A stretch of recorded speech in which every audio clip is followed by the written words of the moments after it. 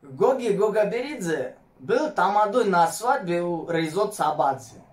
Дай ему Бог здоровья, нашему поэту и краснослову. Наш Гоги умел таки вести стол.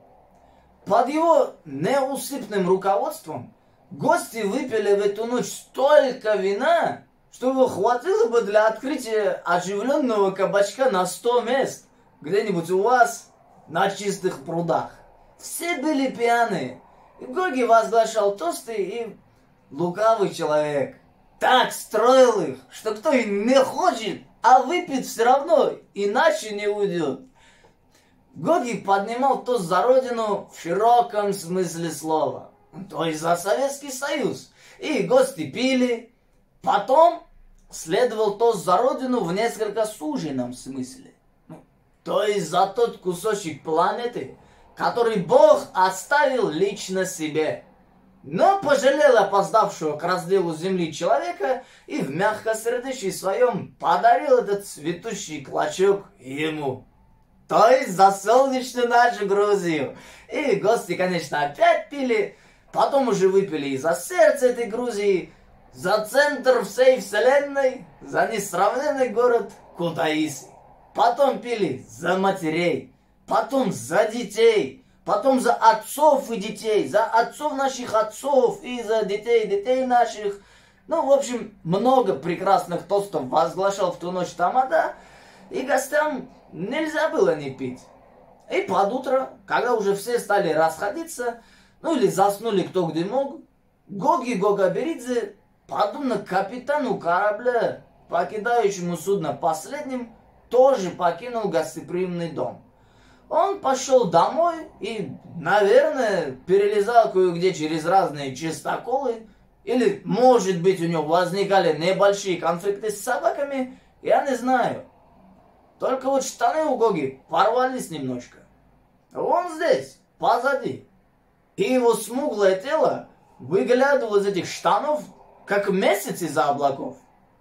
И надо же так случиться, что наш Гоги, ну, в этом своем довольно неприглядном виде, на какой-то узенькой улочке обогнал толстого Гугуши. Торгажа из гастронома, который тоже возвращался откуда-то из гостей и, не знаю откуда именно, и не желаю узнать. Это толстый Гугуши вел с собой под ручку мадам Кироки Сянс, толстую глупую косышу из того же гастронома, где служил и, наверное, воровал он сам. Наш пошатывающийся Гоги, конечно, не обратил на них никакого внимания, потому что он был поэт и не любил людей типа толстого Гугуши. Он не спеша обогнал эту парочку и пошел так немножко впереди, светя им то одним полумесяцем, выглядывающим из-за облаков, то другим. И вот это ритмическое посвечивание двумя полумесяцами почему-то страшно разозлило толстого Гугуши, и он окликнул идущего впереди Гоги. «Эй, Кацо, остановись на минуту!» — крикнул он своим вечно сиплым голосом. Гокаберидзе остановился. «Эй, Кацо!» — продолжал толстый Гугуш. «Ну послушай, бедняга, ну как тебе не стыдно? Ты идешь по улице в совершенно нетрезвом виде.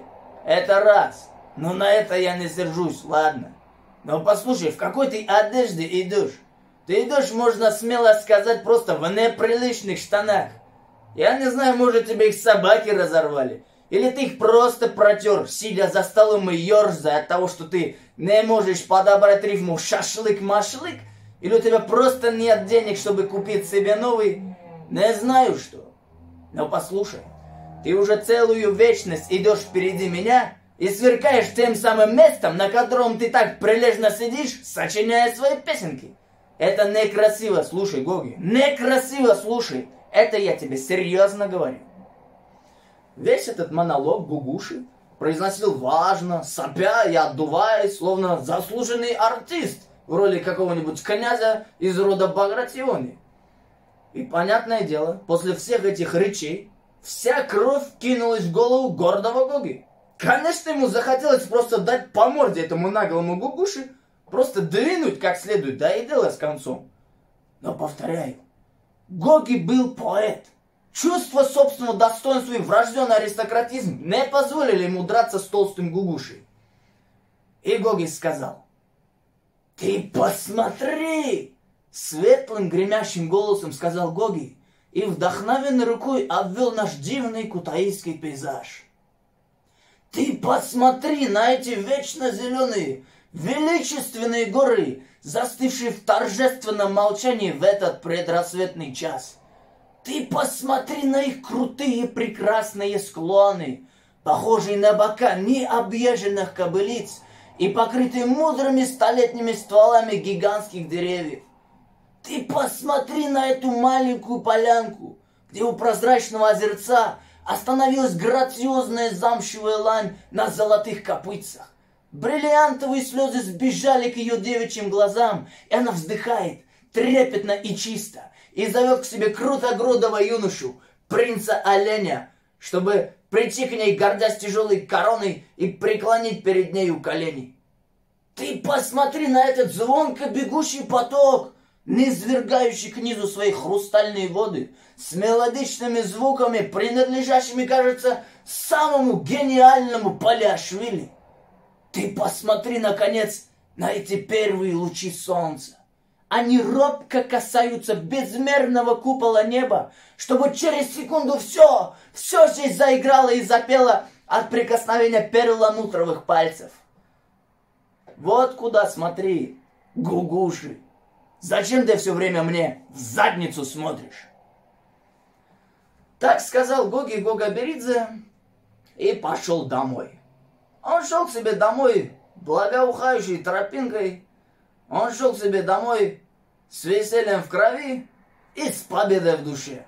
В драных штанах настоящий поэт.